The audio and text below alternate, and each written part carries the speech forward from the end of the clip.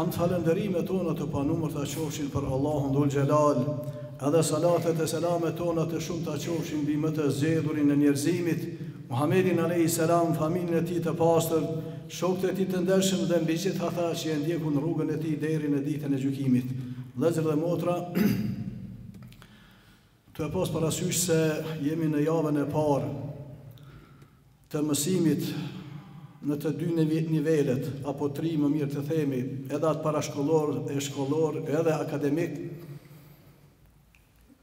kuptohet për shkak të çorodive tona, na janë bashkue dethënë në të njëjtin muaj, apo me të njëjtin fillim që të trija këto nivele, e që nuk është krejt e natyrshme, E lusim Allahun xheleshanuhu fillimisht pra që në këta muaj që ju kanë mbet në këtë vit shkollor nxënësve po edhe studentëve edhe parashkollorëve t'u jenë muaj të bereqetshëm t'u jenë muaj në të cilët inshallah don Allahu xheleshanuhu e e kompenzojnë edhe atë që u ka mbetë apo që u ka kalu nga muaji i kalun, po edhe të jemë ata të cilët inshallah don Allahu xheleshanuhu e t'na jet koha leximi, hulumtimi, studimi, thellimi, meditimi e kështu me radhë, t'na jenë inshallah të begatë Edhe të jemi pra në nivel të amanetit të përgjegjësisë që e kemi fillimisht para Allahut xheleshanuhu e mandej edhe para vetes sonë, familjes sonë edhe edhe popullit e kombit tonë. Nuk ka dyshim se viti i ri shkollor, po edhe ai akademik në fakt janë festë, Janë festë për çdo popull, janë festë jo vetëm për nxënësit e studentët, por janë edhe për çdo familje, po edhe për tërë vendin apo shtetin. Megjithatë, tanë jemi dëshmitar që zakonisht gati thuja në fillimet e çdo viti shkollor, neve nuk po na mbetet festa ashtu siç ish dashtë me qenë. Për shkak të çorodive tona pa dashtë me hy në ate se kush më shumë e kush më pak ka përgjegjësi për krejt këto por vërtet po them inshallah don Allahu xheleshanuhu e vërtet arrijmë me ditë edhe me e çmu leximin arrijmë me ditë me e çmu pra shkollimin Arrijmë me dit me me me vlerësu çka do të thonë njeriu me mësu. Gjëra krejt këto të cilat në fakt e dim se pa to as një sen ma shkurt në jetën tonë nuk ka mundësi as të realizohet e as të arrihet, e madje kisha me thonë edhe kur asht fjala e besimit, kur është fjala edhe e fesë sonë, edhe praktikimit të saj, asgjë, as nga kjo, siç e dim, nuk bëhet pa lexim, nuk bëhet pa mësim, Po të bëhej besimi pa te, nuk kishte me qenë jo rastësisht pra ajeti i parë apo edhe fjala e parë e ajetit të parë me të cilën Allahu xhaleshanu i drejtohet njerëzimit të jetë ajo ikra, lexo, studio, hulumto. Pra, ka të bën me diçka që para se të na thotë Allahu xhaleshanu besoni. Po na porosit pra lexoni. Mandje sa herë e përsërisim edhe në porosinë apo imperativin që na drejtohet neve si njerëz, se si me një fjalë me e besu atë thot fa'lem ennehu la ilahe illallah. Dije, mëso se nuk ka zot tjetër që meriton të adhurohet pos Allahu xhaleshanu. Dije pra edhe lexo edhe mëso e kupto se nuk është vetëm me e thonë eshhedu en la ilahe illallah. Dëshmoj se nuk ka Zot tjetër pos Allahu Xheleshanuhu. Këtë dëshmi po thot Allahu Xheleshan duhet me e thënë duke e njoftë, duke e ditë se çka je duke thonë, duke e studiu, duke e lexu, e pra këto nuk arrihen pa dyshim, pos përmes asaj që jo pra rastësisht Allahu Xheleshanuhu shpalljen tonë na e ka fillu me këte. E nuk e ka fillu me besim që është mbi të gjitha kuptohet por deri tek ajo pra arrihet me atë që jo rastësisht Allahu pra e paska fillu suren El Alaq që është Iqra bismi Rabbike ledhi khalaq por megjithatë tu e pas parasysh pra unë se nuk po dojmë më u thellu edhe me hyje në aspektin e problemeve a ditore e vjetore që i kemi me arsimin e me shkollimin e me gjëra krejt këto të cilat besoj se inshallah don Allahu xhaleshanuhu e përgjegjësit që i kem i thirrin mendjes edhe arrijnë që vërtet të bëjnë reforma edhe ta ta reformojnë pra arsimin në të gjitha nivelet siç e dim kemi nevojë të madhe Edhe pse tanë e dimë se në bazë të interesimit të çdo populli edhe vendi që e kanë ndaj arsimit edhe ndaj investimit për të, ka me qenë edhe niveli i vedijes, ka me qenë edhe niveli i arritjes, ka me qenë edhe niveli pra i zhvillimit në të gjitha fushat e jetës, jo vetëm në një aspekt. Por, për atë edhe vlen që ne nganjëherë m'u nal pak edhe me i shiqu edhe statistikat edhe përqindjet që, a, çdo popull, a, çdo shtet, vend, a, që i ndan për arsimin. I dini se fusha të ndryshme ka, dhe të buxheteve që i kanë shtetet e kështu me radhë, edhe çka e shef se një shtet i caktuar bie fjala 20 përqind. deri 25% ha, të buxhetit që e ka të shtetit e ndonë për arsimin. E gjenë ndonjë që as një përqind, apo dy përqind, ngjashëm qysh e kemi ne realitetin e ha, shqiptarët kudo që jemi për fat të keq, e që kjo tregon, vërtet se ha, në çfarë niveli jemi të realitetit dhe të asoj se vërtet çka mendojmë ne për kokën tonë, për mendjen tonë, për zhvillimin tonë, për ma shkurt pra të ardhmen tonë në të gjitha fushat e jetës, e cilat pa dyshim se nuk bëhen pa arsim të mirëfilltë, nuk bëhen pa arsim të shëndoshë, pa arsim pra të avancun, gjëra këto të cilat inshallah don Allahu xheleshanuhu e arrijmë që a, një ditë me pa se edhe përgjegjësit tanë, edhe qeveritë tona po i dhojnë rëndësi, rëndësi arsimit, e jo vetëm fushave të tjera, edhe pse tanë e dimë se po jemi të dijshëm se gjithë buxhetin e kemi shumë të të limitun edhe të kufizun. Ajo që mendoj se megjithatë ne si hoxhallarë në këso raste duhet me i kujtu vetit po edhe juve sidomos prapë po them qysh prej fillimit edhe atyre që janë n'bankat shkollore nxënësve e mandej edhe studentë e kështu me radhë është që megjithatë Atë që e lexojmë, atë që a studiojmë, atë që mësojmë, për çka e bëjmë? A thu se leximi është qëllim në vete? Apo leximi është një mjet, një mekanizëm i cili synon me na sjell ne prej një faze në një fazë tjetër? A bëhet, a, leximi për lexim? Apo bëhet leximi edhe islamikisht, po edhe në aspekte tjera mund të themi se ai bëhet jo rastisht qysh na kanë porositë edhe na kanë tërhjekë vërejtjen dijetarët e shumë prej tyne El Bagdadi, Shatibiu, Ibnil, Ibnil Xheuziu, e sa e sa prej dijetarëve që kanë thonë se vërtet nëse bëhet leximi për hir të leximit, ajo është një lloj kufri. Sepse na nuk lexojmë për hatër të leximit, as nuk lexojmë për me u dallu vetëm të mençur edhe me, ha, me tregu dituri e ilm, po ne lexojmë me qëllim që të praktikojmë, që të veprojmë. Leximi bëhet për të vepru, jo për të lexu për hir të leximit.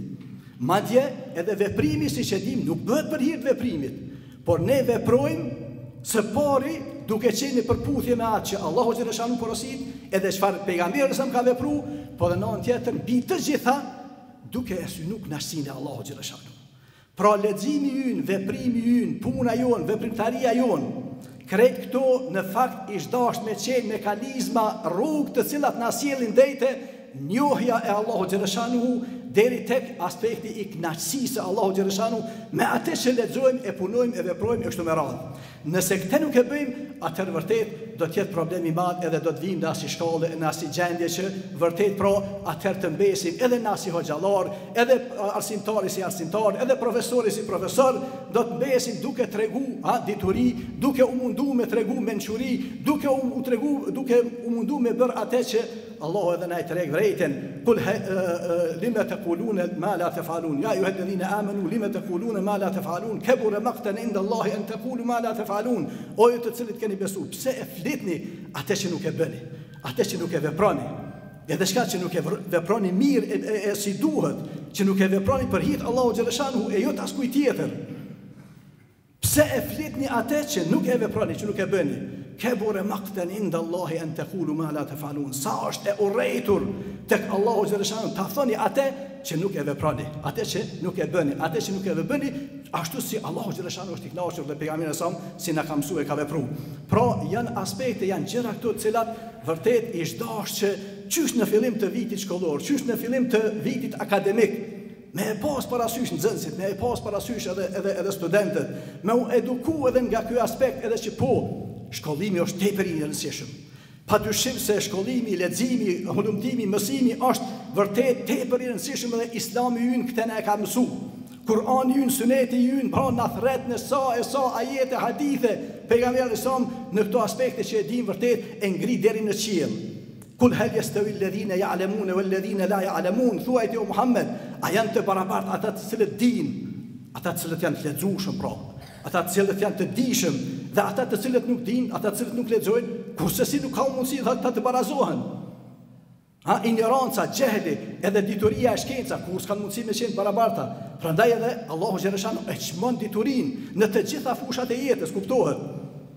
por gjithmonë duke e synu pra atë dituri e cila është dituri e çmueshme, ajo dituri e cila vërtet është pra e e e dobishme për individin, familjen, për shoqërinë e kështu me radhë, sepse po kishte edhe dituri e cila ishte e dëmshme.